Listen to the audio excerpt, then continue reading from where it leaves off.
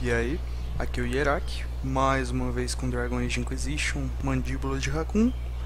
É, eu tinha mostrado pra vocês em um dos últimos vídeos aí é, sobre a adaga Espinho Selvagem, que é uma adaga muito boa, bem melhor que as do jogo base, né?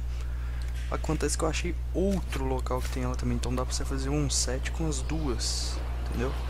Tá aqui, ó, em uma fissura fica nessa localização aqui. Eu acabei de fechá-la nesse local.